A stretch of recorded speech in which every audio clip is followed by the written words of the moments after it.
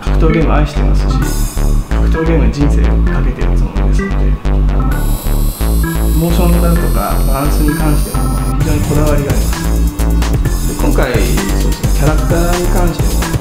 いろいろいろんなキャラクターがいてでその人たちがどうやって戦えばいいんだろうっていうところからもう一度見直してで必要なところはモーションも作り直したりとかしていますし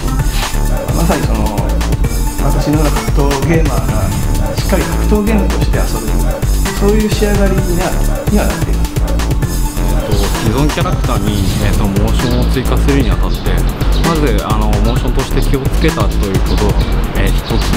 あのそのキャラクターにあの合ってない動きはさせないということをですね。本当にそれだけです。ねあのやっぱり今までのあのユーザーさんってあの各キャラにあのイメージを持ってると思うんであのそこは絶対に壊したくないと、えいうところが、えー、大前提としてありましたねまあ、今まではすごくその、まあ、美しいキャラクターっていうことで表現してたと思いますけど今回この「デッド・アライブ5」では存在感っていう言い方をしてます。まああたかもそこにいるかのような表現。でそこで実際にモニターの向こうにいるんじゃないのかというふうに感じてもらえるキャラクター表現というものにフォーカスしてます。その Dead or Alive 4からまあ間にディメンションズが挟まってるけれども Dead or Alive 4からそのキャラクターの少しだけリアルに進化させるっていう一番難しかったのそれ聞くまでもないよね。霞だよね。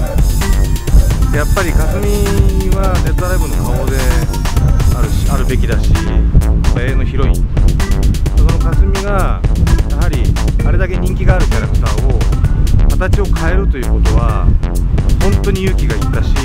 ものすごく大きなチャレンジだったでもそれができなかったら多分デッドライフ5って作れなかったと思うし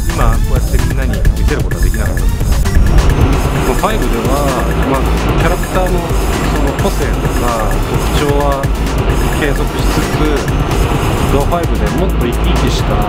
魅力のあるキャラクターにするっていうのが、まあ、プロジェクトのコンセプトでもあったしキャラクターのコンセプトでもありました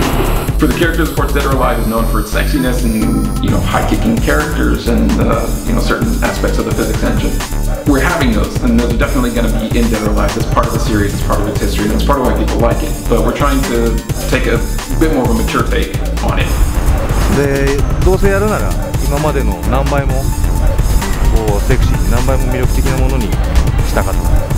でそのためにいろいろその自分自身周りに、まあ、人間たちが生活する上で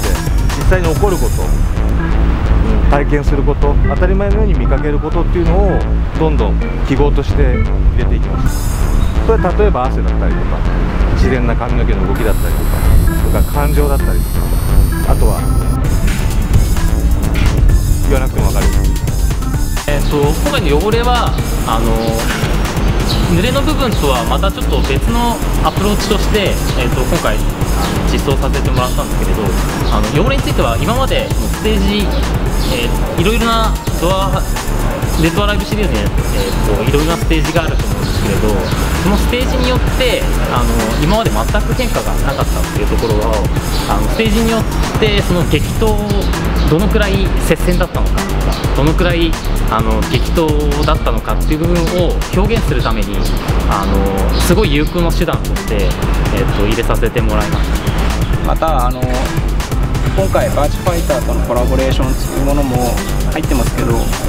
れはやっぱり 3D ファイティングゲームってバーチャファイターが元祖なので、今回デッドアライブという新しい未来へのチャレンジするときに